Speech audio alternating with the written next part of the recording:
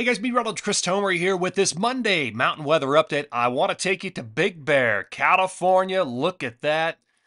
The gold falling from the sky. Finally getting some new snow here across parts of the southern Sierra, uh, including rain in Los Angeles, snow up here at the higher elevations. It's just so good to see this moisture coming down. They're reporting four inches roughly of new snow in the last 24 hours up there at Big Bear, and you've still got more on the way uh, as well. So awesome to see that. Um, let me just take you into um, Colorado, clear as a bell. So the storm system is sitting over in Southern California. Everybody else is dry through the interior Rockies. Uh, this is a crystal clear morning up here. Uh, Loveland ski area. Breckenridge also looking good. It's a waiting game now. Um, the next chance, the next storm system doesn't come in with the pattern until the pattern change hits um, that really that that last day of January through the first week of February. Um, in fact, here's radar. I mean, it's there's just nothing on it. You got to go into Southern California, and there it is. You can see the rotation around this area of low pressure.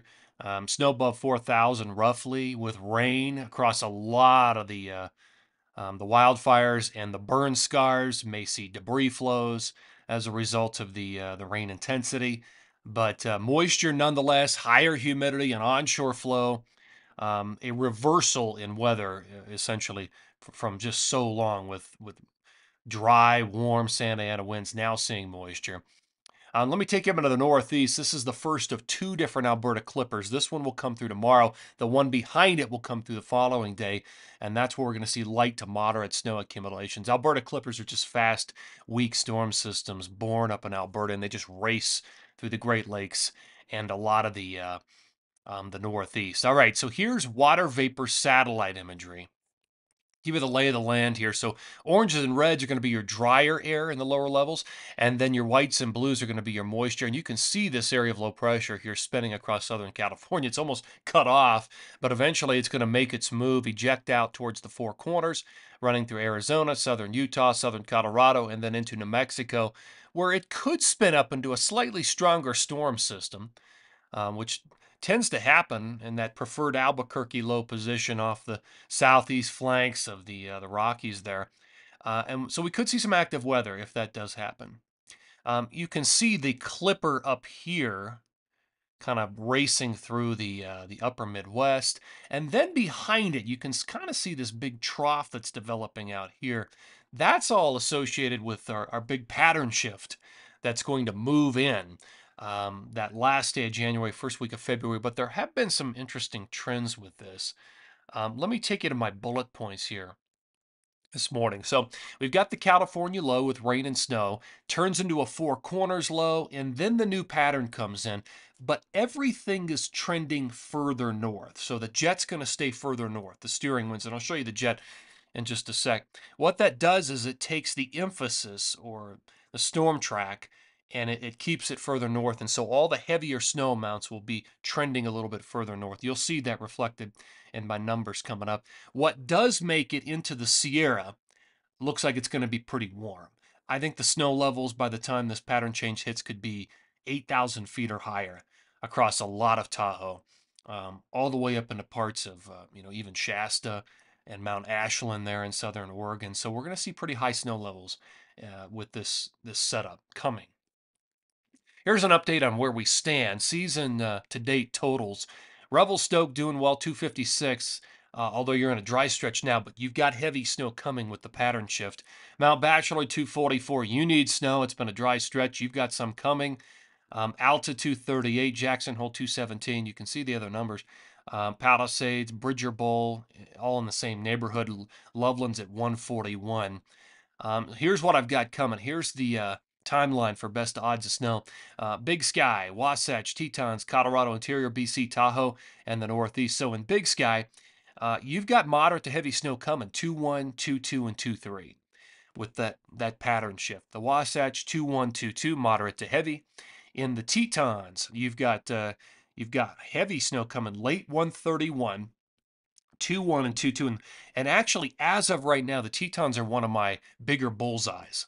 Uh, in Colorado, you're kind of on the periphery Um, but you you probably will see light to moderate snow 2122. Now, even before that in the southern mountains, you'll have snow coming through uh, with that southern track low. But then once we get to the pattern shift, it's 2122. Interior BC, you've got heavy snow coming late 130 into 21 Tahoe, heavy 131 to 21. But keep in mind the higher snow levels. And the Northeast, uh, a few different clipper systems with light to moderate accumulations. All right, let's talk about the jet stream since I mentioned this. All right, so I'm going to start this. This is the forecast jet stream. Now, on this particular map, I'm looking for the brighter colors, the reds, the oranges, the purples, the tans. That represents higher winds at jet stream level, about 30,000 feet up. The higher winds are what steer these storm systems run and help you to spot changes in the storm track. So uh, you can see the, the area of low pressure over California, Southern California right now. Start this at lunchtime today. And, and then the colors correspond to the legend off the right, off to the right hand side. And all of these numbers are in knots at that level in the atmosphere. Uh, okay, here we go. Late today, low starts to make its move. Here's late on Wednesday. By this point, the low is crossing the four corners and could potentially be strengthening as it approaches that Albuquerque, Panhandle, Texas, Oklahoma type position. Here we are early on Thursday. The low departs by late on Thursday out into the plains where we could see showers and thunderstorms, maybe even some wraparound snows through West Texas. We'll have to see. But certainly that would be the case. You'll have some snow falling, um, residual snow there over parts of northern New Mexico and southern Colorado. Okay, now here we have to focus. This is the final day right here of January. Look to the Pacific Northwest. We start to see the pattern shift. You can see the jet streak coming in, and there's a, a, bit of a dip there in the Pacific Northwest. So that's the start of it. Here we are by late on the 31st. Also notice through the, the mid-Atlantic uh, sliding towards the east coast, that may develop into an area of low pressure for the northeast around February 1st. We'll have to wait and see. All right, this is early on the 1st. You can see the strong jet stream plowing into the west, but everything is pretty far to the north. The, the, the core of that jet is, is running right through Idaho, Wyoming, and Oregon. And so that's where we're probably going to see most of the accumulation, at least there. All right, here's late on the 1st. There's late on the 2nd. There's late on the 3rd. So a bit of a tilt there, which would favor a lot of Washington, Oregon, and even the Sierra at that point, with overrunning precip into the interior. Um, okay, so there's early on the 4th. Not a lot of change, but you can see, I mean, there's definitely a shift there coming uh, in the forecast. All right, let's look at uh, snowfall accumulation over time. Okay, so on this particular map, I'm going to start this at lunchtime today. Um, and the light blues correspond to under three inches. You pop into the greens, that's three to six, and the yellows are over six. Notice in Southern California, you've got uh, snow. Also, that's, of course, valley rains. And look at the clipper racing through the Great Lakes. That's headed towards the northeast. All right, there's late today. There's a lunchtime tomorrow. So you've got snow in the northeast from the clipper number one. There's another one behind it. Look at the streaks coming out of Canada. Um, our low in the desert southwest is moving towards the four corners. Here's late on Tuesday. There's lunchtime on Wednesday. Snow in the northeast. Some lake effect as well. But snow across the four corners, snow in southern Colorado, northern New Mexico, quite a bit of snow for Snowbowl, Arizona. Uh, there's late on Wednesday. Now, uh, at this point, again, there may be some development with that area of low pressure, so a little bit heavier snow, southern Colorado, northern New Mexico. Here's early on Thursday. Potentially, this model pushes snow up to Colorado Springs and Denver. We'll see if that happens. It'd be light. Um, potentially some up on the Continental Divide. There's late on Thursday. That load diminishes. Here comes our pattern shift. So here's late on the 31st. Look at the heavy snow. Look at the reds coming out there. That's that's basically 10 to a foot or more up through BC along the coastal range, up into Washington, the high Cascades, the volcanoes down into Oregon.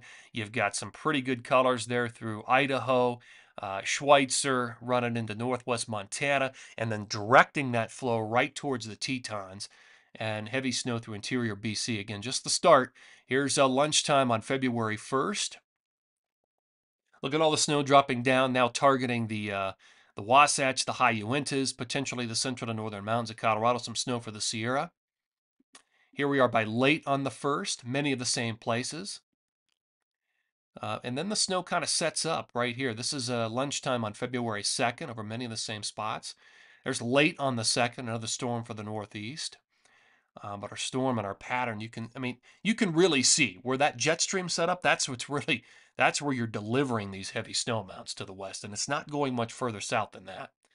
Um, here we are by early on February 3rd. I mean, look at the Tetons. Just getting nailed with heavy snow through this period. Um, and of course, Shasta with the higher elevations there of Shasta, you're going to get a lot of snow out of this. There's late on the 3rd. That pattern starts to shift out, and then we'll have to see what comes in next. Okay, here's my uh, official forecast. Um, all of today through the second, we'll start in the, the Wasatch. Um, I've got four to eight, probably inches of accumulation right there. Now, those numbers are in flux. Those could certainly go up. If the storm track or the jet shifts just a little bit further to the south, you bring in more moisture and better lift. So we'll have to wait and see. But right now, with that that setup, it really targets the Tetons. I've got one to two feet of accumulation just through the second for the Tetons. Um, probably five to six up there, Big Sky, Bridger Bowl, a few in Red Lodge. Um, eights up there through Whitefish. Idaho's in great shape. Um, potentially over a foot from Brundage north into Schweitzer.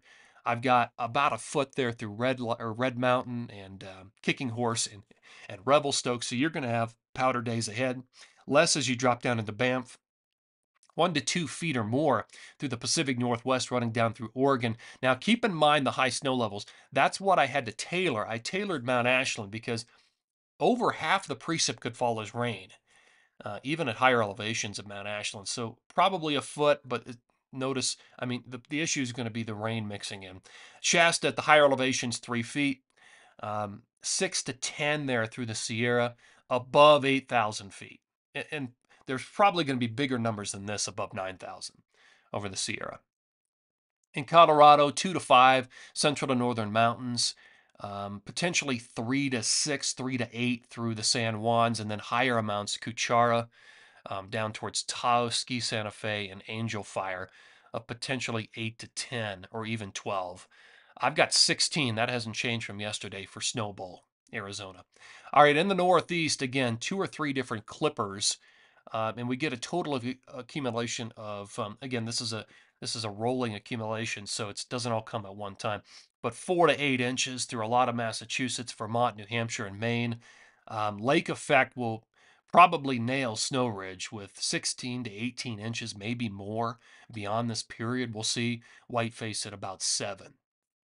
Okay, guys, we'll end on the uh, the big western map here. We got an exciting period ahead. Finally, right? Something different coming for the west. It really just depends on where the storm track sets up. Right now, it's trending a little bit further north, but we'll see what the data looks like later today and tomorrow. Guys, thanks for tuning in here. Always appreciate it. Take care and have a great day.